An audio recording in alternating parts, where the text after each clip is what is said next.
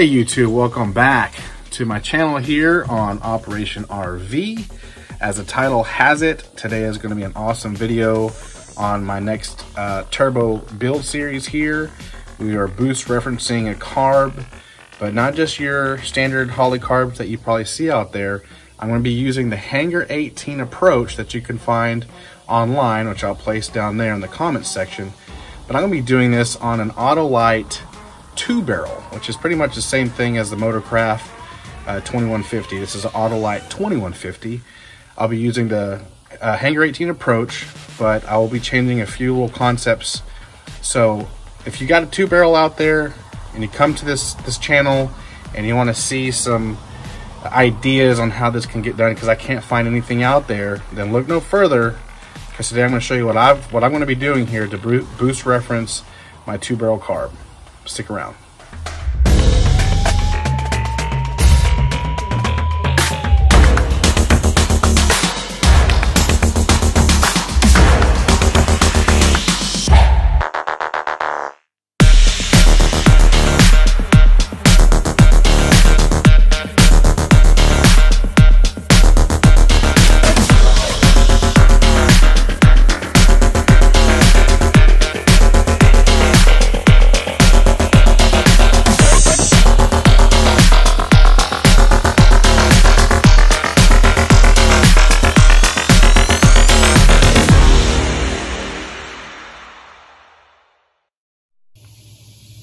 Okay, so an important piece of a blow through carb here, especially a two barrel, is you want to have a carb spacer, velocity stack. I know there's some other terms out here, what they call these, but you want to get one of these because it's going to help with the airflow as it goes down uh, over the carb hat into the actual carburetor itself. It gives it a two inch uh, in length expansion for air travel. So definitely pick one of those up. This can be extremely helpful. Um, here, what I want to do is the first step in making a boost, boost reference carb um, is whatever is inside of your floats here, if they're uh, brass or plastic, they need to be switched out uh, for the, uh, the nitrophyl floats. Okay, here's the nitrophyl float I picked up at my local auto parts store. It cost me about 12 bucks. And again, this is for the 2150 float. And there's the part number right there. Just a very quick disclaimer. So I'm not going to be running, you know, 12 to 18, 20 pounds of boost uh, in this apparatus. Mainly 6 to 10, 10 if that.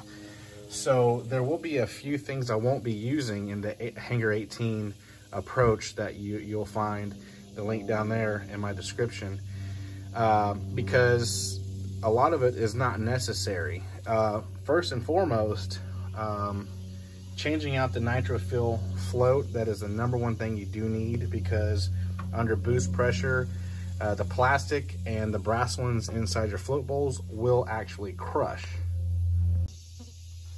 The other reason is up underneath here, I'll show you in a little bit, is your uh, power valve. And there are boost reference power valves out there, but considering I'm doing minimal amount of boost, there's even information on forums that you don't have to do anything in the Hanger 18 on the two barrel carb aside from switching out your nitrophyl float just because the boost is very minimal. However, I'll be doing most of them, but I won't be changing the um, the actual um, the boost port yet. I want to wait till after I get my air fuel ratio gauge, get it installed and running, and then I'll go from there. Just real quick, a few things I will be doing today. I will be changing the float out. Uh, we will be uh, removing the choke plate and the choke rod over here, we will be using some JB Weld and blocking up this hole here for vacuum because uh, once that carb hat is on, you want all these surfaces here that won't leak out into the uh, atmospheric pressure to be lost. So that will be plugged.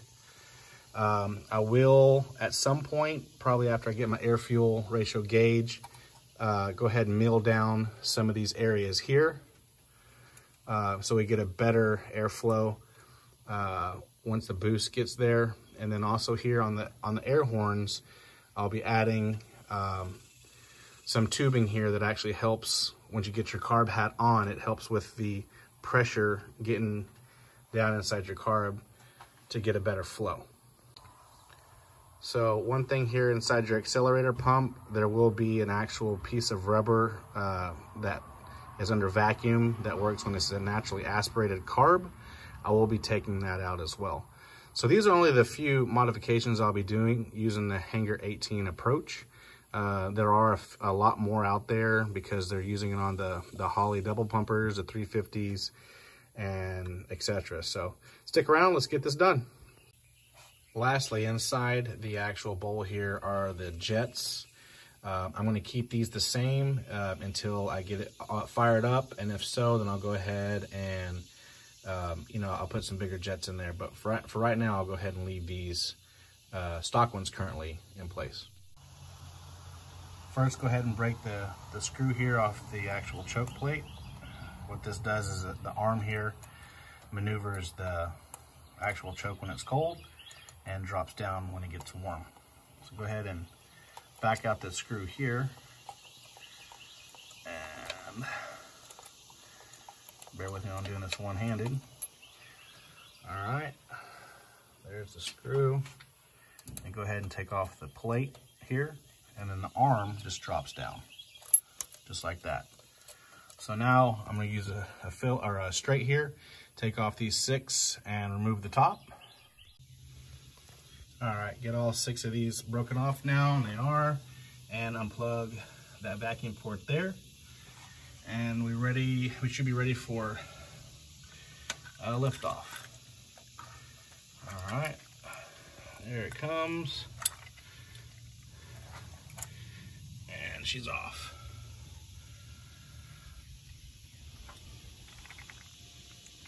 Fairly easy. Let's get a more in-depth uh, view here, what takes place. All right, so we're looking down into the carb here, and this little spring that goes around that little valve right here, you need to take a screwdriver, stick it down in there and pry it off of that, and then the float will actually come free here on this little, this brass pin. All right, when you pry that off that bar, it'll look like this. And you simply can just pull out the float here just like that. And it's out. Now it's just a simple of switching it out. All right, so go ahead and uh, we're gonna take this little pin off right here and slide this off the bar and then we're gonna put the, uh, the new nitrophyl, which is here, right back on the bar here. And I got visited here by the horses. Hey guys. Yeah, they don't want to help me work on cars today. Uh, you want to make sure all the orientation is just like you pull it out. And as you can see right there. So let's get it switched. All right, the new one is now replaced. And uh, basically we're just gonna put it right back in there just like we took it out. All right, so the new one's placed. Let's go ahead and start working on the top part of the carb hat and getting this choke mechanism hole, which is right here. We're gonna go ahead and get this one plugged up with some JB Weld. All right, before I go ahead and um, epoxy this uh, choke hole here with JB Weld, we need to get the uh, choke plate off. I just get a Phillips, take these two screws out right here, and pull off the plate and then pull out the bar. All right, that is now out. Pretty simple. So let's, at, let's get a plug. All right, I went ahead and uh, just cut off a little slice of the JB Weld here. And basically all we want to do is conform this steel, these two part steel, until it's a single color. And then we're going to plug that hole right there. All right, so we got it all mixed up pretty good here. And all we're gonna do is provide a liberal amount of this and just put it basically inside this hole. Mind you, this has nothing to do with the gasket part of the two barrel. This faces just the atmosphere. So what we're doing is just bypassing that choke hole because when this is actually attached to uh, the bottom part of the carb and the carb hat goes on top here like so when the carb hat attaches to it all the air that's being pushed from your actual turbos you do not want it to go through that hole because you'll lose considerable amount of boost and it won't be referenced correctly all right, so this is exactly what it needs to look like here. That's the top side. That is the rear end side. And most importantly, you don't want to put too much right here on this outside edge because that is where, let me grab it here. This gasket goes. So you want to make sure that it seats flush, just like that. Okay, so if you followed along all the way through the video, this is my method using uh, some of the Hanger 18 um, methodology to getting a blow through carb completed for boost. I didn't use a, a few of them, so I'm gonna go ahead, I'm gonna call it a day now. I'm gonna go ahead and reinstall the carb, and then once I get everything fired up and I got the air fuel ratio uh, gauge installed, then that'll determine my next step. Um, I will say I'll, I'll, go ahead and block uh, this vacuum here. I'll put a cap on that. And um, I'll go ahead and probably shear off these later. It just kind of depends on how rich or how lean I am. And uh, this valve here too. Um, it's been reported you don't have to, but this does leak. Um, like for example, if the vehicle is to roll over, so we might have a vacuum pressure issue here. I'm not 100% sure yet, but taking the carburetor as it is and not doing anything to it with six to eight pounds of boost, you should be able to not do anything except the nitro fuel and plugging this uh, this choke hole here and possibly removing the uh, the rubber piece down here and the accelerator pump. And that's pretty much it. If worst case scenario, uh, I'll have to jet up. Um, I'll go ahead and add a part two to this video. But as far as getting a boost reference carb ready, that's a two barrel, whether or not it's Motorcraft or Autolite. Uh, I believe this method of what I what I just finished today that you got to see is all we're going to need to do uh, to get this minimal amount of boost through this motor and everything to read correctly and to get these turbos uh, fired up.